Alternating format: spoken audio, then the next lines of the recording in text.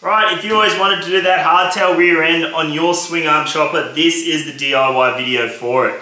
In this video, I'll be completely disassembling a bike, chopping the ass of it, bending up this rear end from scratch and welding it all on step by step, showing you how to do it.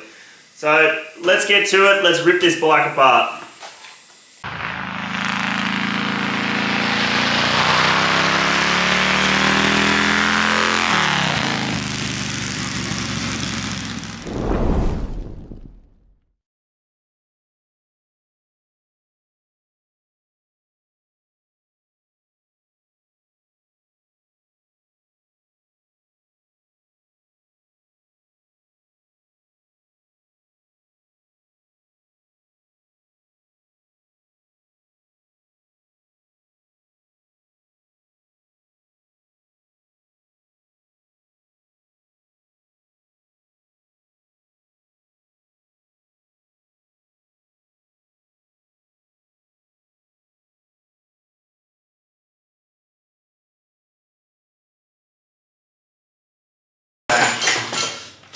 Come on, bro.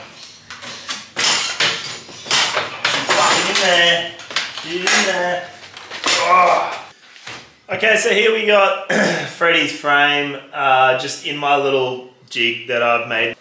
Um, so I sort of want to cut this up in a way that sort of encapsulates this rear section and then I could weld it back onto this frame or another frame in the future. Being a one year sort of frame, it's probably only a few months to be honest.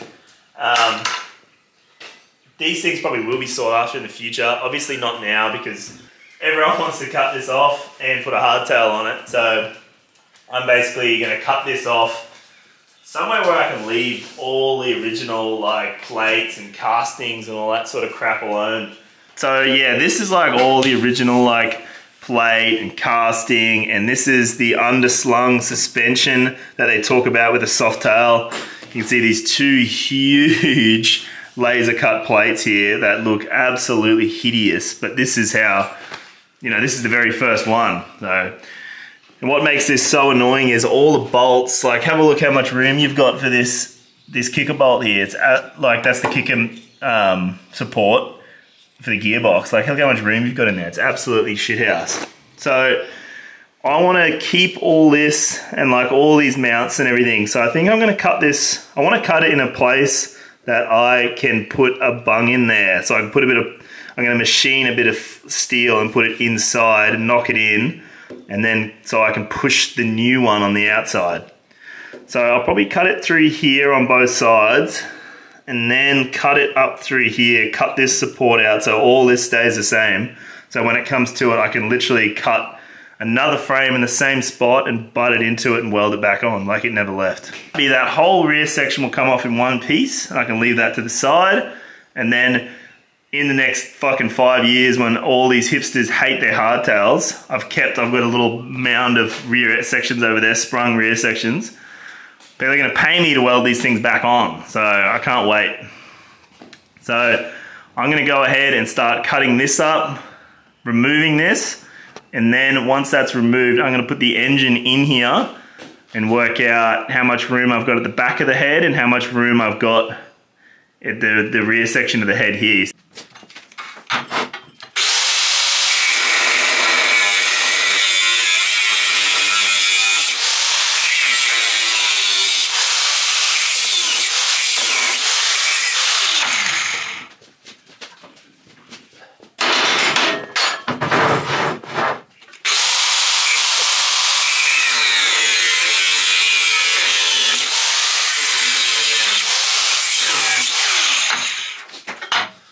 This back in the jig now to bits. Holy fuck, this thing's heavy. Oh, fuck me, this thing's heavy. The heaviest frame I've ever fucking, fuck me, it's heavy. One of the slow as shit. Alright, so that's that. We'll cut these last bits now.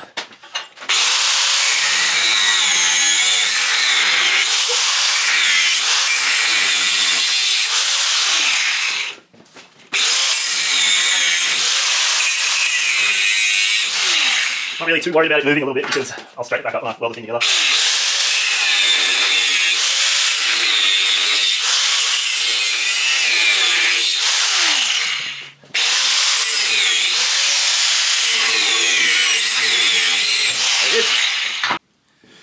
Alright, I got it on its side. This was an absolute pain to get off because you can't get a grinder or nothing in there. So I had to use the old humble cold chisel. But pretty well there now. So uh, hopefully with a couple of knocks with this, I'll get it going. Oh, you fucking blower. Come on, bro.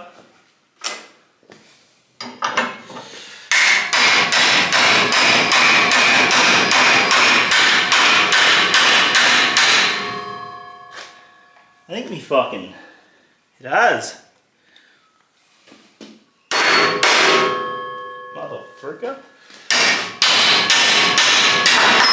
There it is. So, here's the front section. Put that back up there. So there's the front section. Here's the rear section all in one piece. Look at that. So I just have to clean this up a bit now and that'll be ready to go straight back on another frame. This, I just cut everything and match. I'll put my shocks back in here and that's fucking that. I'll get me shocks, eh? So, here's the shocks, they just live in there. So, that's ready to go back on another frame. Alright, so I have the front section of the frame set up in my jig table here. Um, this is just a jig table I made by myself. Um, it's really quite simple. Um, on my web store that I'm going to be bringing out, I'm going to design and uh, make something like a little jig table so someone at home could have a little cheap jig table and do something like this themselves. Um, basically, we're going to make the rear section of this frame now. Um, I've probably taken out a bit more than what you usually would if you were just going to do uh, like a rigid rear end on your swing arm shovel just because I wanted to keep this bit all original with the cutoff piece so I could attach it back to something and it basically looks original. So what I'm going to do to achieve that, before I do any of this rear section, I'm going to do this little teeth here. So I've got to do connect this little bit again. And how I'm going to do that, I'm going to get the engine and I'm going to put it back in here so that I know what clearances the engine needs. And then I'm gonna make, I'm gonna machine some little sleeves that go in here, and in here. And then I'm gonna cut some pipe and I'm gonna fillet it so it goes together and we'll tack all this together before we get started on the rear section. So I'll go ahead, I'll put the engine in this and I'll start making some slip-ins and then we'll have a look at making this piece. All right, as you can see, I've got the motor in here. Um, something I did before I put the motor in, I prepped these two tubes for welding. So basically just took all the paint off them and I just gave the inside a little hit with a file to make sure there was no burrs or nothing in there. And I put a weld prep on it. So I just put a little chamfer on the end of it so that I got somewhere to put weld. So I made these two little guys. They are the plugs that'll go in it. So they are just like two inches long or 50 mil long and I sort of want about an inch in each side. So that'll do perfectly. I had to put a little shoulder on it because the pipe I'm putting in there is a little bit different ID than the pipe that's already in the frame. So I made this a pretty good fit, right? So I made this a good fit so that I can just hammer it in there like this.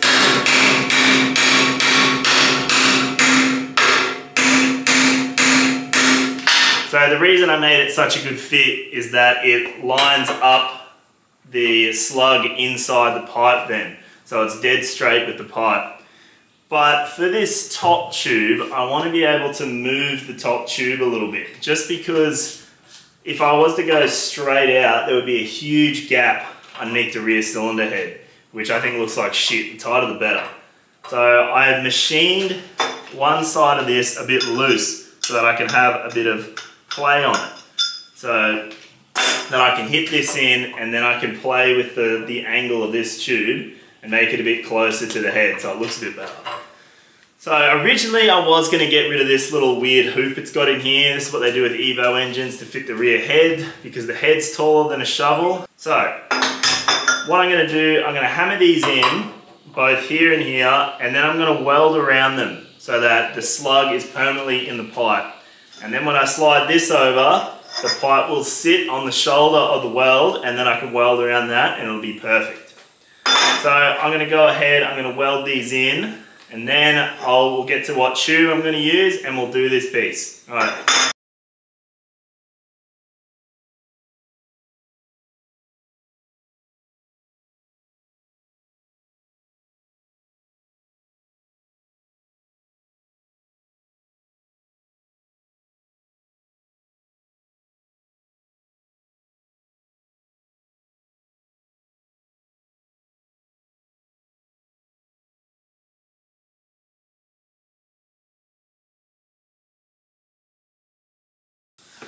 Alright, so as you just saw, I welded my two bungs into the frame and what you also probably noticed is I sectioned this backbone a little bit. I wanted some more bend in it.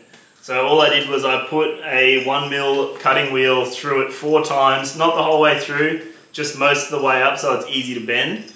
So I put that through and then all you do before you bend it, you get a normal grinding wheel and you just run over the top of it lightly and that'll give you a weld prep on both sides of the cut and then when you bend it down like I have and tacked it, you'll have a weld prep around the whole lot. So that's the reason why I did it like that.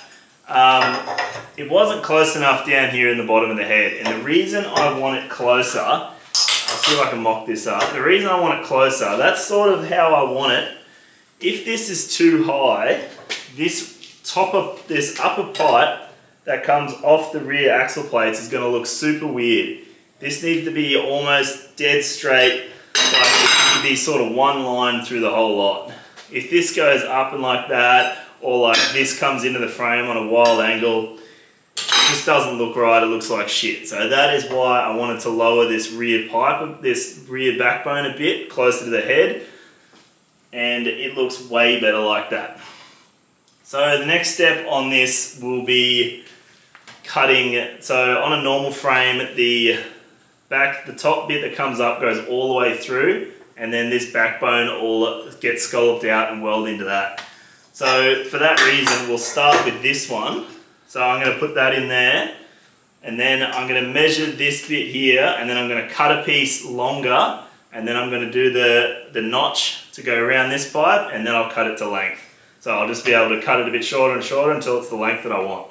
So I'll go through, I'll show you how I'm going to scallop that. I've got a special little tool and then we'll start tacking this crap together. Alright, so I have your little piece cut. This is the guy that's going to live in here. So it'll live there, and like I said, I'm going to sculpt that out, and we'll look at that, and then that guy will go there. So before we get too carried away, the size I'm using, so these large backbones are usually about the inch and a half mark. Now that material is pretty easy to get in Australia probably the same in the US, wherever you're from. I'm sure you could probably get something around the same size and that's fine. Um, you want to go, what sort of wall thickness am I working with here? So I'm working with about three and a half mil wall. Now that's probably overkill. Um, this is a 4142. Doesn't need to be that, it can just be a bright, semi-bright or something like that. Mild steel will be fine. I wouldn't go any smaller than like 2 mil or something. That's probably your limit. Anything smaller than that, you're probably going to bend it. So I've just got an inch and a half backbone here piece that I'm going to use. So the way I'm going to cut my little scallop so that it fits nicely onto this pipe is with my little tool here.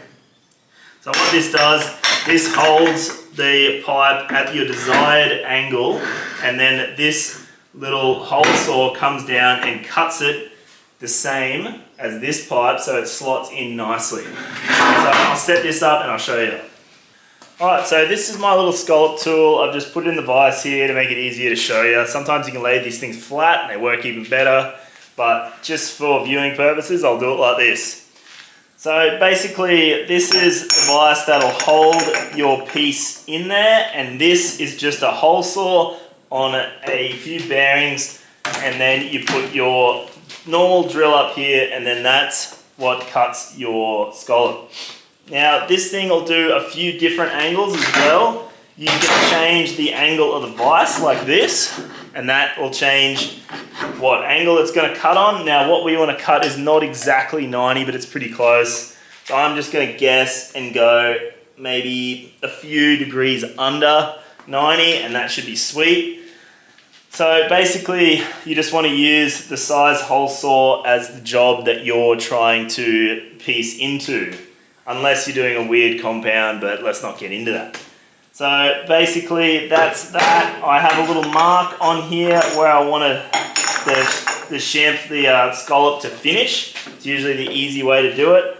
So I set that up like that, tighten my little clamp up like that, make sure that's all tight, and then you basically you want to do this nice and slow because it's quite a large cutter.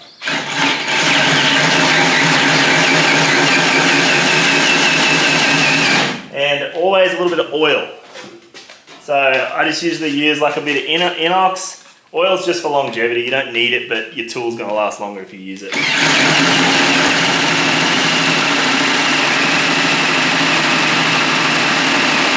Little bit more when you start to smoke heaps.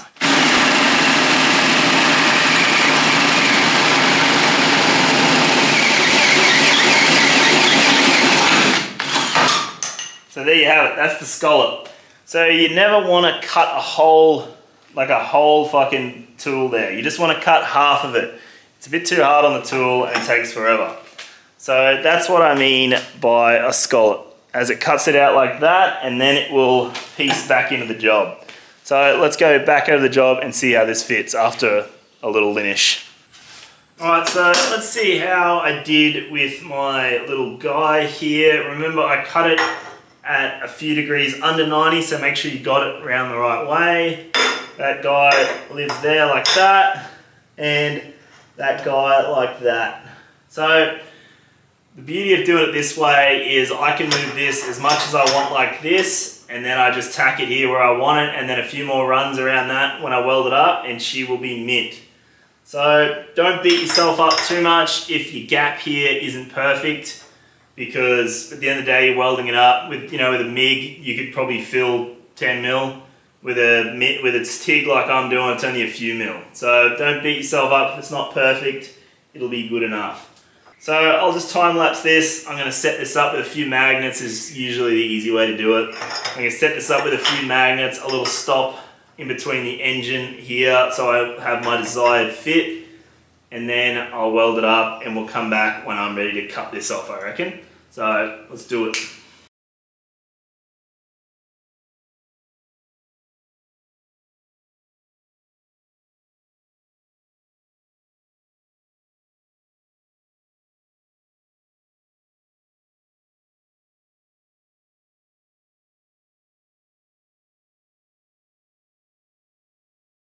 All right, just thought I'd take a moment out of the time lapse just to show you how this all went. As you can see, that notch is super nice through there. That turned out really good. I gave it a few mil clearance on the back of the head. I gave it a little bit more on the top so we could get all this rocker box and stuff off if we need to. So that is all that I gave it for a weld prep there. That's heaps after I weld that the whole way around and then linish it flat, you won't even notice. These are little notches I took out to give it that more bend. So as you can see, I well prepped all them so we can weld them up and, and file them flat, you'll never know. Um, down here, same thing, that's all I gave it for a well prep and that's heaps. So as I said, I'm gonna go through and weld this whole lot out now and then we'll chop this angle off last, the last thing we'll do after we weld all this around.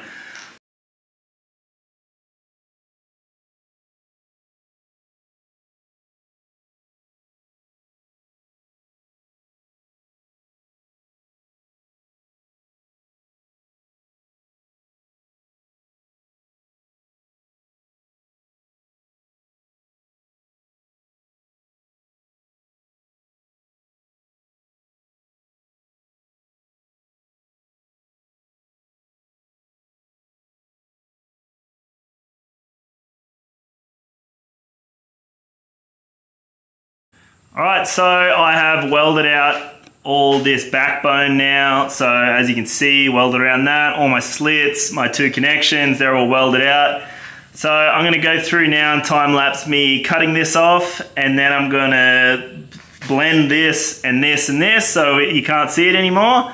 And then we will get on to doing the axle plates and all that sort of stuff.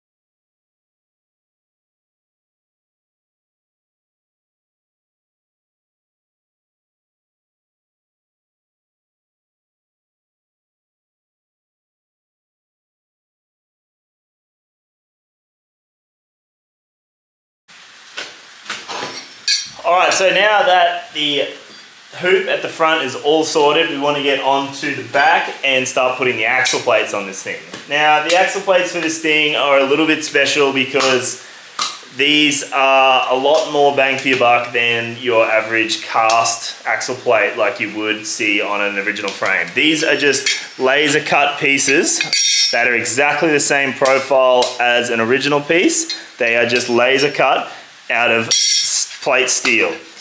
So the beauty of doing it like this is these are very easy to get cut anywhere. They are very inexpensive and um, they are very easy to use. So I use these on pretty well all my little frames that I do just because it's so much cheaper and you can get away with building a frame for so much cheaper. Um, the web store that I've got coming out as well, I will be selling these things on the web store. Not sure exactly what it is in price now, but all you American players, it'll be super cheap because it's going to be in, in Australian dollars. So you guys exchange rate is killer. So these are probably going to be super cheap for you. So what I have on my little jig bench here, I have this little tower at the back, which is what these axle plates bolt to. So when you weld it together, nothing moves. So you could probably do this in a few different ways, but this is all just like a homemade table that you can do at home. So it doesn't have to be some expensive like CT Newman rig. It just has to be something that holds all your pieces still while you weld them so nothing can move. So I'm gonna go ahead, get these bolted up, get them leveled on my table, and then we'll come back and start marking out our bends and bending some tube. All right, so I have my axle plates here bolted to my little um, tower here, so they are pretty sweet. Um, just a few little tools that I use when I do frames like this. First one is a little digital level. These things are pretty inexpensive and they are super handy to have around. Like setting up these axle plates, I just put this guy on an angle that I know is the same on both axle plates. So I put him on there, put him on there, same angle, I know they're right. All I had to do was measure up the table, make sure they're the same level, and they're exactly the same. So next we want to do is we're going to start measuring up and bending some tube to do, I reckon we're going to start with these bottom legs first. They're the easiest. This top section's a little more difficult because you've got a miter cut and then two bends to compound, but we'll get to that. It's not too bad. So this bottom tube, there's a few ways you can work out how to bend this, work out where your bends start, finish. You, there's a heap of ways you can do it. There's even apps that you can use that tell you where to do it, blah, blah, blah. But I do it a pretty simple way because I find it's easiest to keep things simple, not messing with your brain. I'm super simple, so that's just the way I work. So before we get to where bends start, stop, etc., angles, all that crap, I'm going to show you the bending rig that I use pretty inexpensive, but they're sort of a necessity to do something like this. So come over and have a look. Right, so this is my tidy little bending rig. Mind the car park in the background. This is an American made bending rig. So all you players in America probably get one of these pretty cheap, but I imported this thing. It is super heavy, it's super robust. Um, I'll never have to buy another one again for the rest of my life. So as long as you've got the dies and everything and you don't break anything, this thing is good for life. You don't have to buy anything for it. So the beauty of these benders is that it pulls your tube through a form. So this die and this die are exactly the right shape for the pipe that I'm using. So when it bends the pipe, it doesn't deform on the bend. So other style pipe benders that use two dies and a press to bend it, always, this bend always deforms. It is not the right shape anymore. So that's why this bender is so special. It always keeps the pipe shape no matter what the radius. So this is the right radius die for Harley stuff. I actually made this die because it was super expensive to import from America, but if you're already there guys, you can buy this stuff super simple. So when you are bending something like this for your frame, you want to always start with a datum point. So you want a point on the, on the rig that you can always put your pipe to and then you know where it's going to bend from there. So on this rig, I'll just move this. This spot here, you can see, oops, with the red, that is my datum. So what I do when I start bending a frame like this, I have this Go Stick. So I'll put this camera back up and I'll show you how to use this thing. Alright, so this is just like a little gauge stick that I use. It's just some scrap steel that is too thin to use for a frame like this. So I just use it to work out bends like this. So as I said, when I made this bend, so this bend is pretty close to the one I want on the frame. When I made this, I marked the point that we were talking about, the datum point on the rig. I marked it on my bit of tube here. So that when I line it up, like this, put it on there, I put it pretty close to where I want it. Always give yourself a little extra that you can cut off both sides. So obviously the frame finishes here and this is where I want to join it. So what you do you just measure from where you want to join it up to your little mark that you know where it is in your, in your jig. And then you work out, yep, I need, say, 230 there. 230 plus whatever that is. So let's go like this. So what's that? 2 to there. 230 from there. So what's that? 230. So let's say 600-ish. So now I know that I'm going to cut my material, my straight material at 600 long, and then I will put it up beside this piece and mark where this is, and then I'll bend it. So I'll just quickly cut a bit, and then I'll mark this, and we'll come back and we'll go over there and bend it.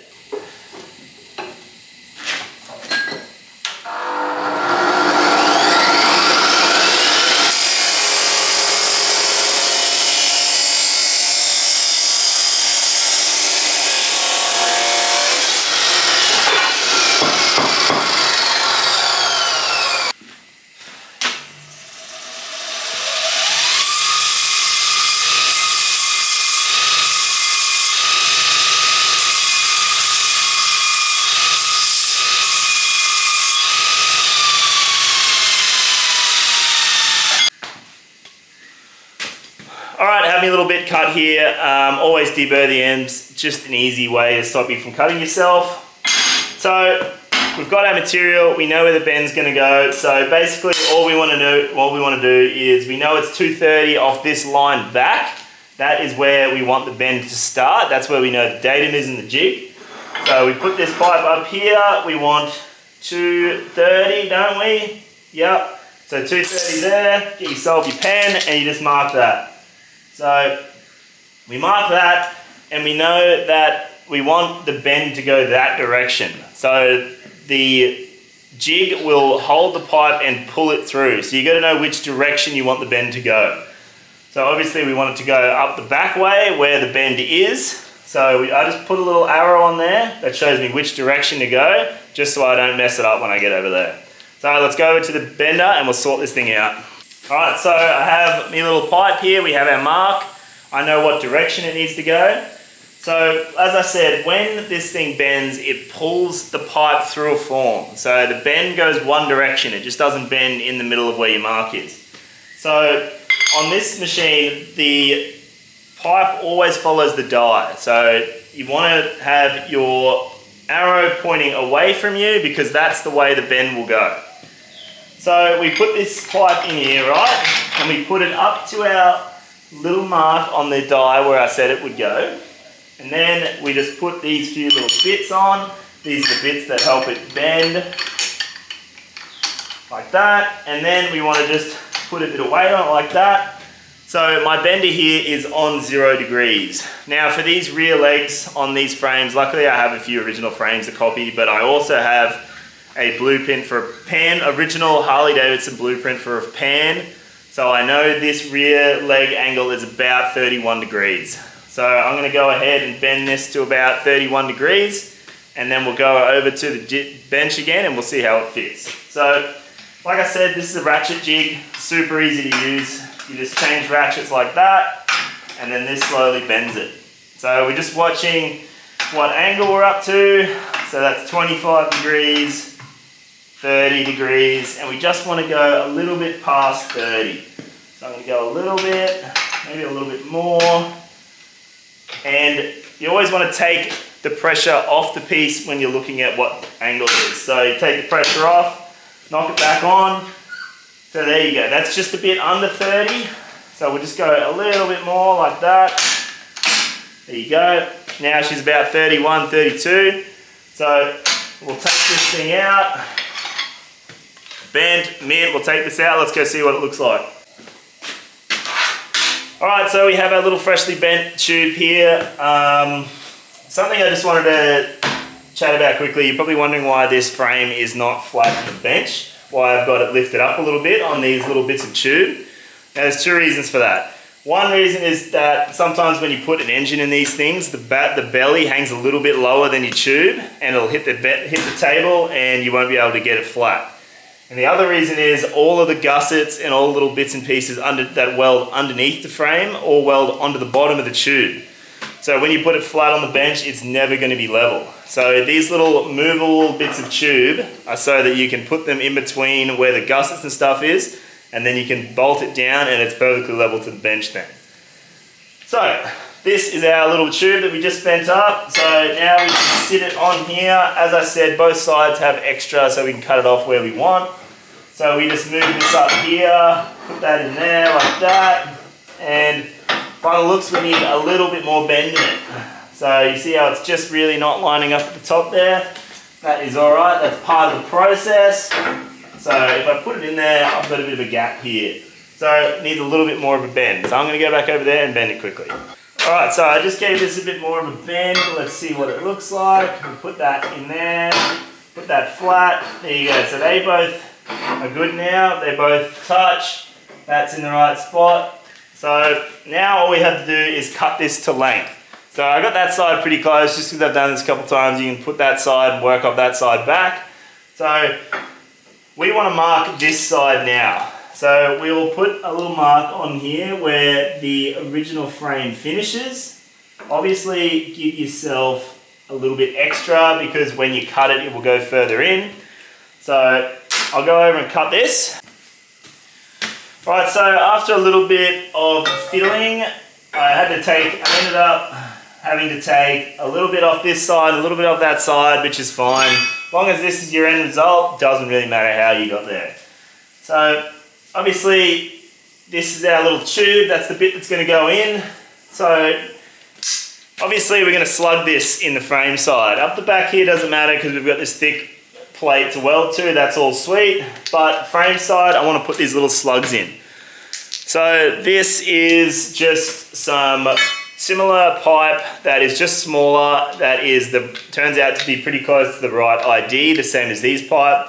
So I just cut these little 50 mil, two inch bits, and they will live in here. So now that I've got this right and I want to put my slugs in, before I want to do that, let's weld prep both, let's weld prep this pipe so that when we weld it, there's heaps to weld and we can linish it flat and it's still going to be just as strong. So I'm going to go through and I'm going to weld prep this pipe. Well, I'll do both, but I'll weld prep this pipe and then we'll come back and put these slugs in and then we'll tack this in.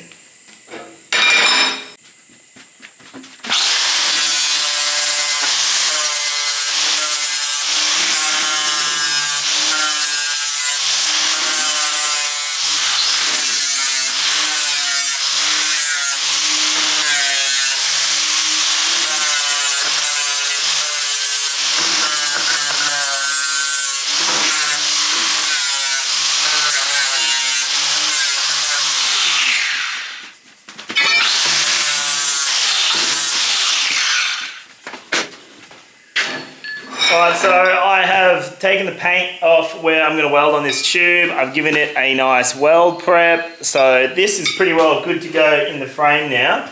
All I want to do is we'll put this in one side, my little slug.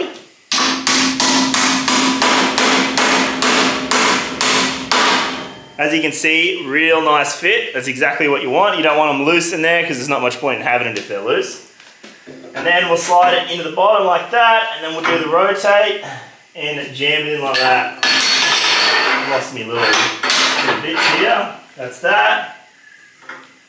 So that is basically one of the bottom tubes done. That's ready to tack in. So that is basically it. So I'm going to go through and do the other side and then we're going to come through and tack it and then start on the top. I'll give you a close up on this first so you can see what's going on. So I've got a nice little gap there for weld. You want to weld the three pieces together. So you want to weld this to the inner, to my little sleeve, and then you want to weld this one together as well. So as you can see, paint off both sides, ready to go. This one the same. Don't worry if you've got a little gap at the back here or whatever. Nice like that, that's mint, ready to weld. So I'm gonna go through, like I said, do the other side, and then we'll get to tacking this.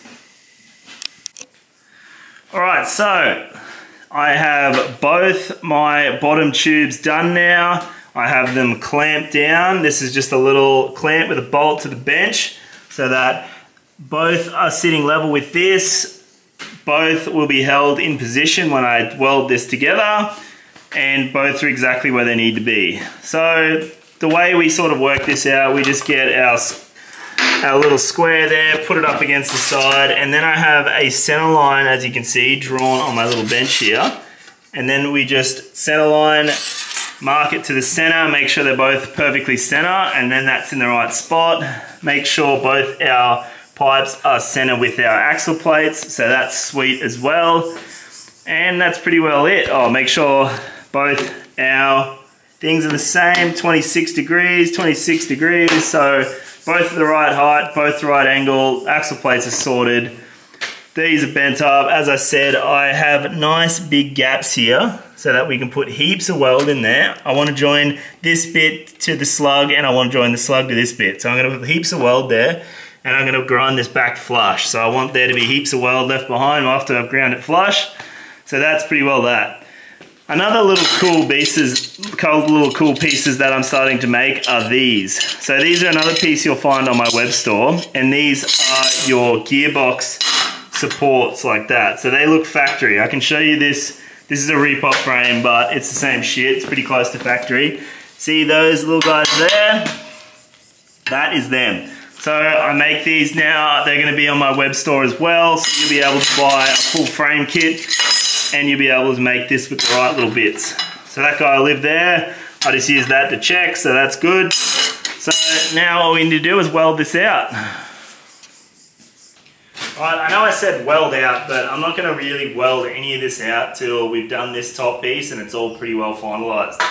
So I'm just gonna go through and put a couple of good tacks on this, so if I bang and bonk anything in the future, it's not gonna move anything.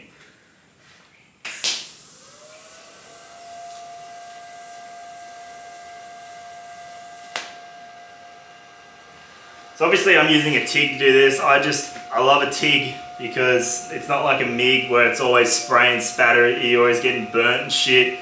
TIG's actually quite peaceful when you're underneath the helmet. So if you're doing this at home, you only have a MIG, that's fine. Just make sure you probably give it even more weld prep because MIG takes a while to get it in there. Make sure your tacks are super hot, hotter than what you would weld it out with, just so that they really get in there nice and deep like.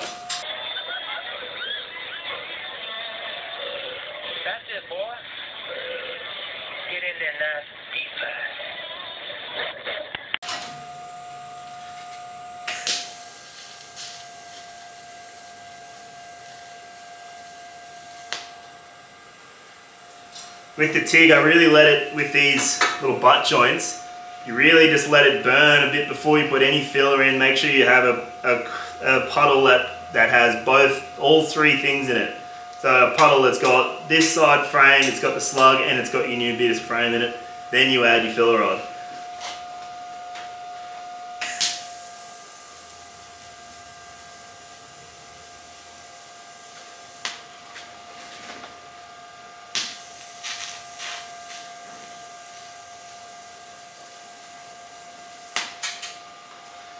All the paint off my pipes just because they're TIG weld, needs to be nice and clean.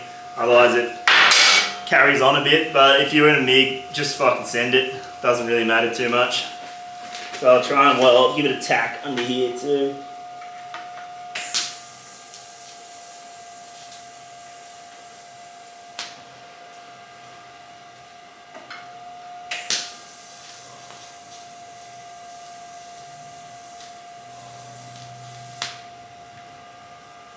Oh.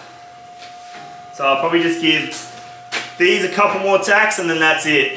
And then we will get to doing these top pieces, which is a bit more complicated, but we'll get through it. Alright, so this bottom section is pretty well done. We've got it all tacked out. She's pretty well where she needs to be. The only thing we're going to come through later and do is this rear gearbox mount. But let's do these top two tubes first and then we'll worry about the gearbox stuff later. So I've already gone ahead and bent one of these up to make sure my little bend map was right. Now, once you start getting a few bends like this, I use what's called bend map. So I have, if you have a little bench like this, I just have marks on the bench so that I know where the bend lines are from. So I have a datum for each bend. The unfortunate part about this is all of your benders are gonna have different datum points. So I can't just give you these measurements and you can bend one up. So unfortunately, all I can give you is the measurements from the center of the bend, which gets a bit difficult working out once you've got your own bender and you're trying to work out a datum point and stuff. So basically all you want to do there is when you order your material to make your frame, order some material that's the same OD but get super thin. So it's just easy to use, super cheap, and then you can bend up a few little pieces and then if you mess them up, doesn't matter, you can throw it away. And then once you got your thin piece right, you transfer it onto your thick piece and bend your thick piece.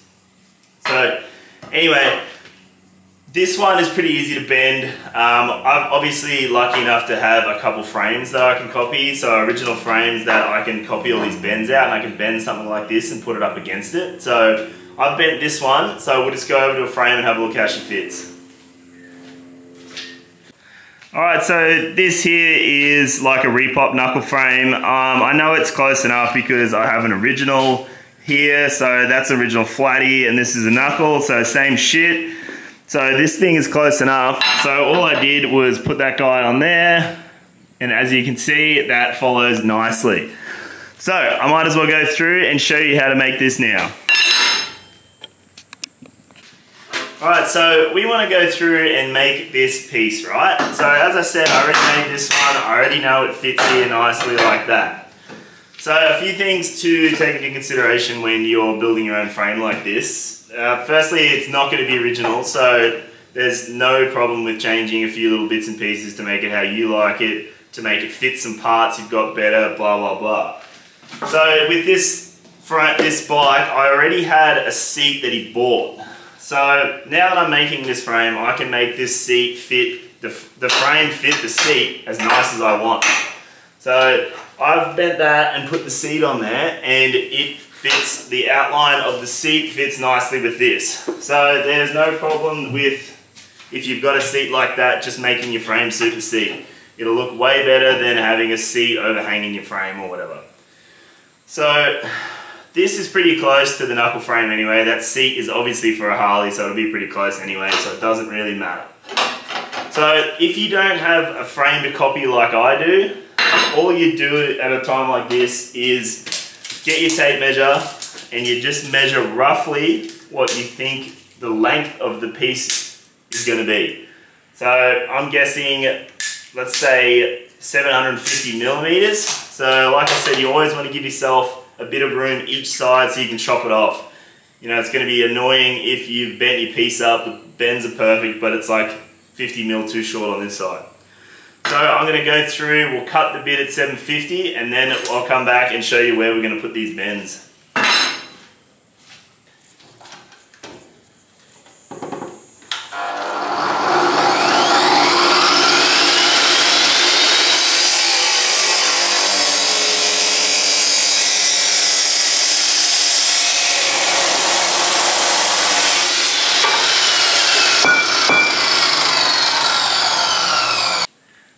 So this is my 750 mil piece and this is my little bend map on the bench I was talking about.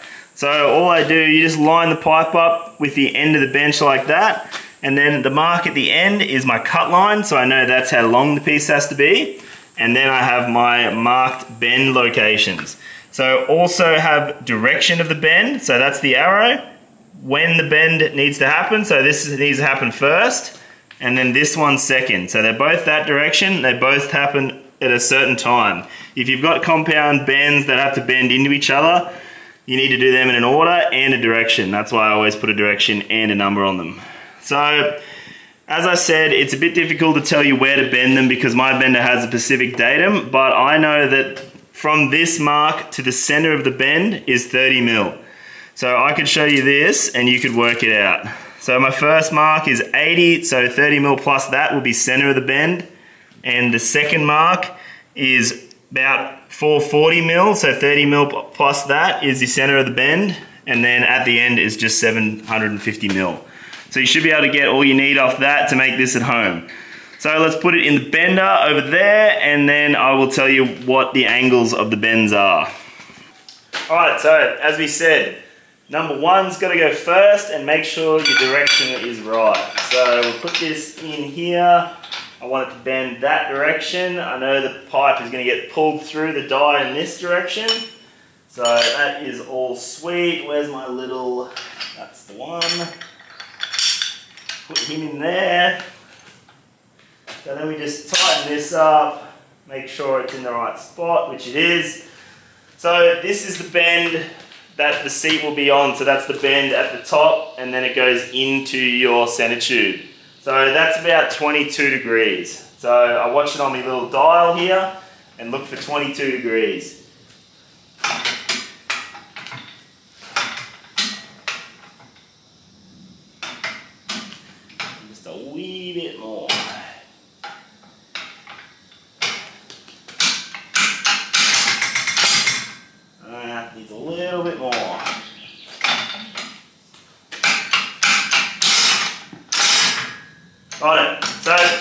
there's no harm once you've done, once you've got two pieces, there's no harm getting your other piece and whacking it in there and just making sure it looks pretty well right. So that looks pretty good. So now we spin it around and we do the small piece. So we spin it around this way and we want the bend to go that way. So we want it this way.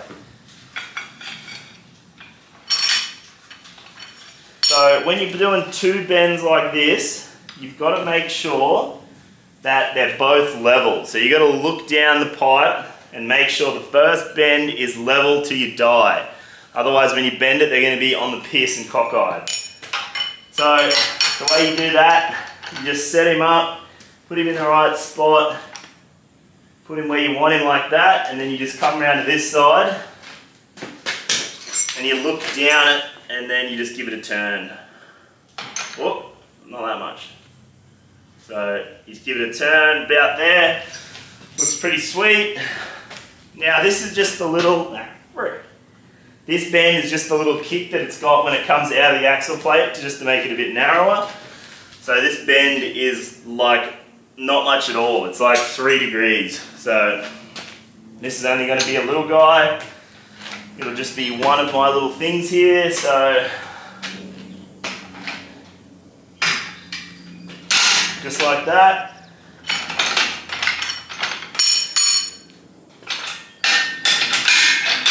Ah! Alright, so there we have it. That is the bent piece. So let's go over the bench and see how we did.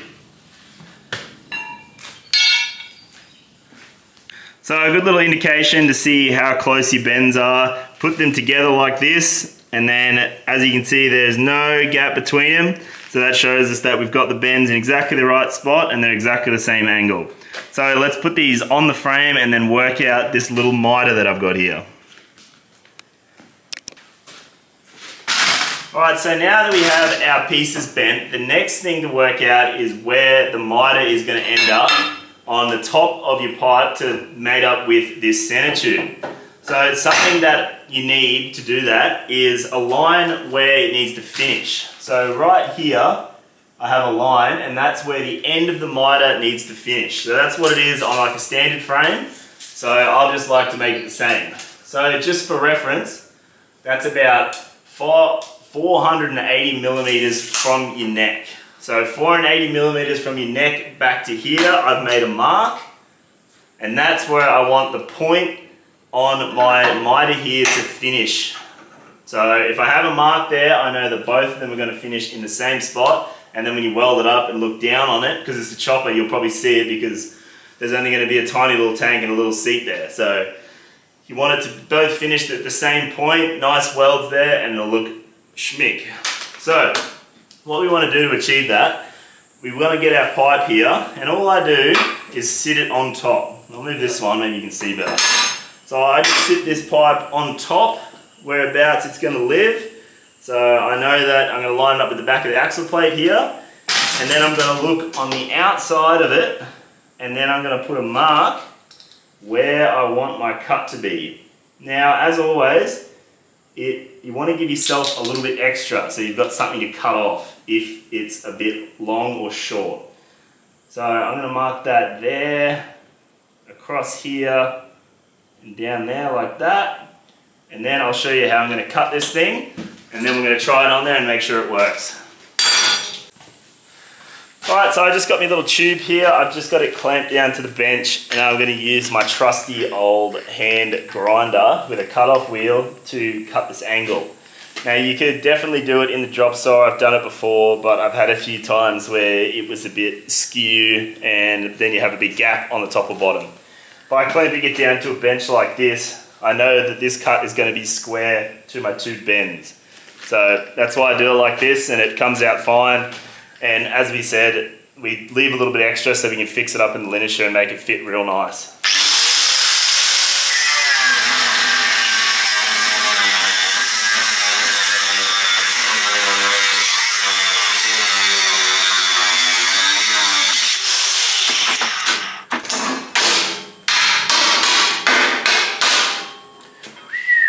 There we have it. I'm just going to clean this up and then we'll see how it looks.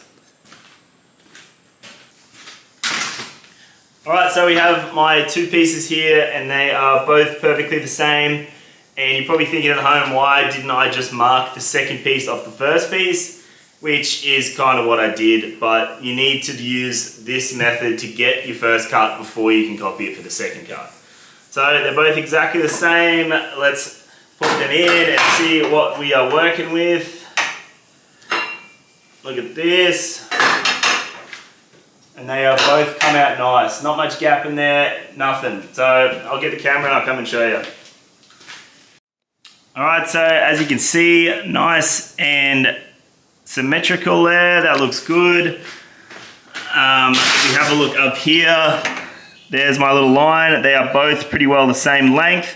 Now, if you were to have one a lot longer, you can always take a bit off down here and that will change your length up here. But the other thing because we just cut a straight cut on, and it's going onto a, a round center section like this, you do have a gap top and bottom. Now that is actually an advantage because that's going to work as a weld prep. So when I tack this on, I'm going to tack it so it has the same gap top and bottom and then I'll fill that thing completely with weld and it will be rock solid. So I'm going to go through, I'm going to take the paint off here where I'm going to have little pieces and then we'll come along and we'll tack this stuff in. Alright, so pretty well the same as tacking up this bottom section. I want to tack it up nice and firm, but with these top pieces, because you can rotate them and get a bit of height difference like that, I want to just tack it on the tops of both ends, and then I can sort of twist them and make them both level. So if you just focus on the tops here, you should be right to bend it around and make it exactly how you want it.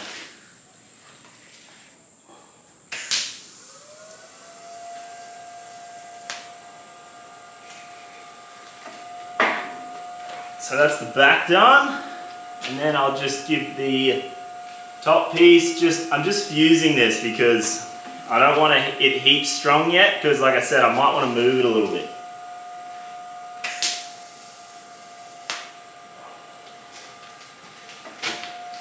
Alright, so I'm probably going to get in your way now because I need to do this side, but you'll live.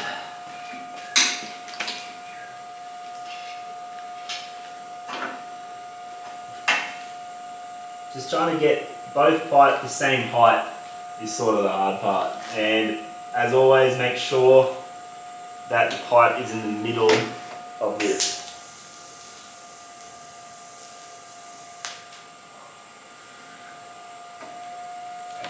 Right, so now we just have a good look at it.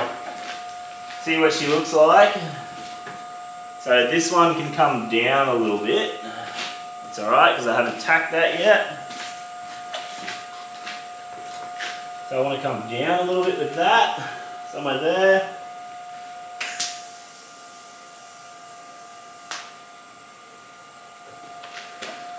All right, that looks pretty good.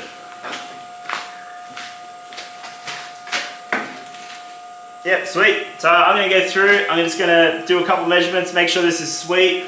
I've got just a big square here. This is probably what I'll do my measuring with. This is just a big like carpenter's square. And if you can just put this off your bench. You do a couple measurements here and there, make sure both sides are the same. And then I'm gonna put a few more tacks on this and then we will get going on a few next pieces. Not exactly sure what I'll do next, but we'll find out.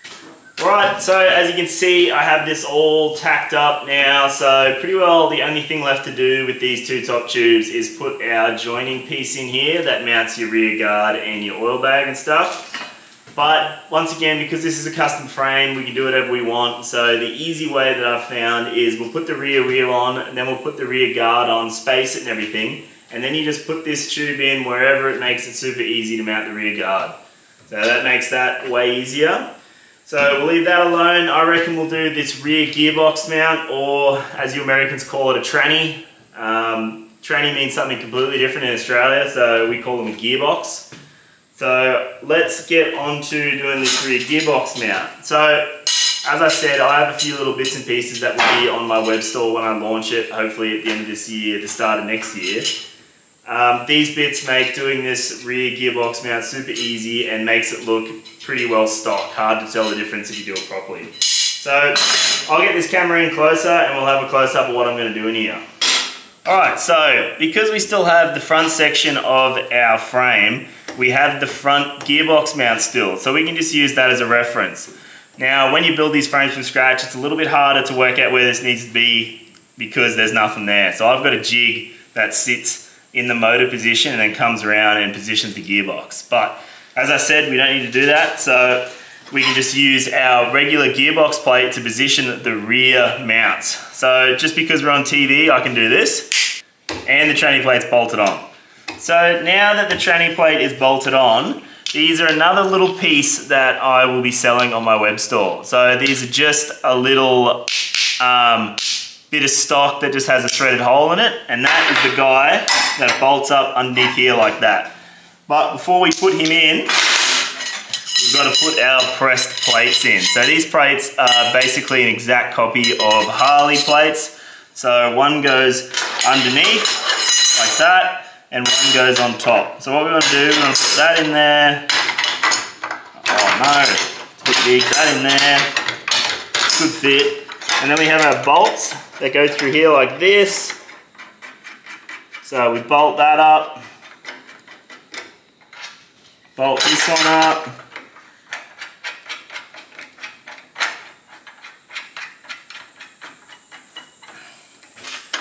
So tighten them up. Tighten both up. Obviously these won't be Allen key, it's just some stock that I got laying around. And then the bottom one goes up. Move this back a little bit or out on its food. And the bottom one goes up underneath and goes like that. So that is pretty well a stock looking rear engine mount, rear gearbox mount. And super easy to do, like that's it, done. All I gotta do is weld this up.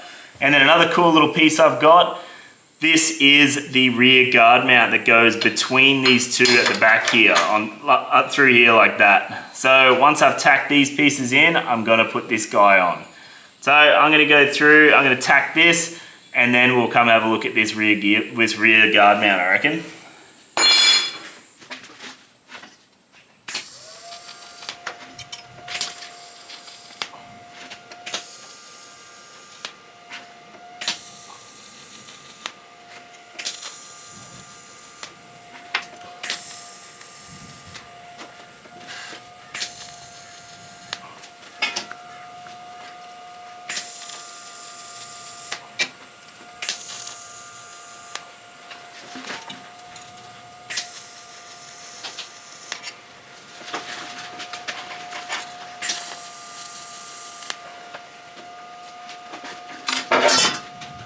Alright, so that is pretty well my rear gearbox mount sorted out. The only thing left to do is put on the rear guard mount and this little stiffener plate. Now if I go back over to this frame and give you a look, I just unbolted the uh, tranny plate and you can see where this stuff goes. So that is the rear guard mount And this guy here is just a stiffener. So the gearbox is obviously what pushes this whole frame forward when you're riding. So it just connecting these together helps fucking put the force into the frame. So this is another piece, as I've probably said before, that I'll have on my web store. These two bits will be on the web store. So I'll go through and I'll whack them in. And then that's pretty much our whole rear um, section finished. Alright, so I've just trimmed this up to make it fit in here nicely. So it basically goes one of these ways, like this. Basically lives there like that, lines up with the center of this down tube, so that's pretty sweet. That all seems pretty good. Now I'm just gonna tack it in when it wants to go into the right spot. There it is. So tack this bitch in.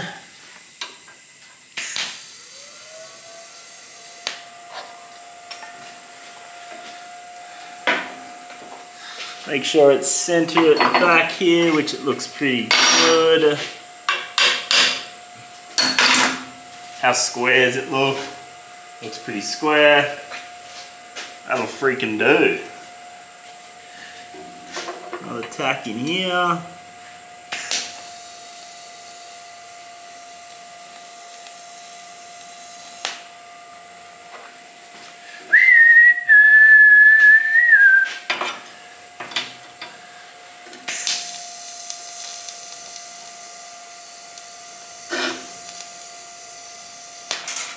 Alright, so that's pretty well that.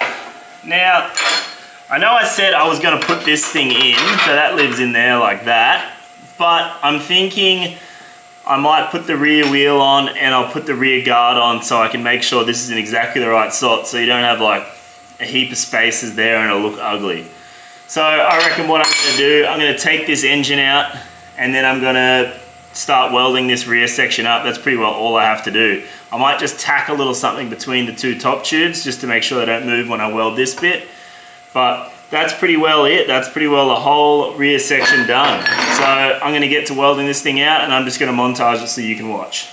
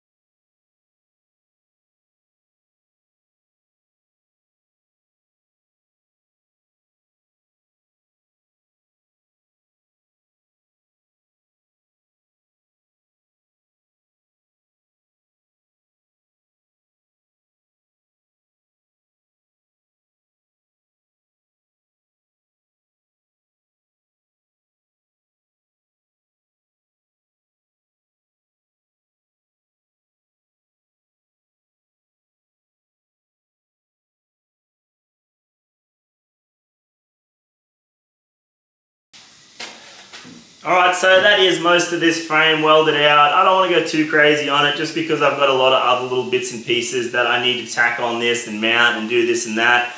And then I can come through and weld them out when I do final weld out on this thing. So that'll pretty much conclude this episode. Um, as I said, this is just a low buck way of doing a hardtail on your swing arm. This can be a lot cheaper than other methods because in this circumstance, this was like a weird one year bike and you can buy a hardtail from America, whatever, a V-twin hardtail, and it won't fit this. You'll have to modify it anyway. So this is just an easy low buck way to do it. Um, obviously I used a lot of my own parts that I make to build this frame, but you can just as easily substitute them for something else, like this gearbox cross member, you can just use a bit of box, you know, you can just use plate to do this and that. You can make your own. It's really a chopper, so chop the thing up, do whatever you want, have fun with it. So that's it for this episode. As I said, the next episode I'll be putting the engine gearbox in, I'll be mounting the oil bag, I'll be mounting the rear guard, I'll be doing all those bits and pieces before final paint for this thing. And then I will be assembling it and running and ripping this thing. So thanks for watching guys, I'll see you on the next episode.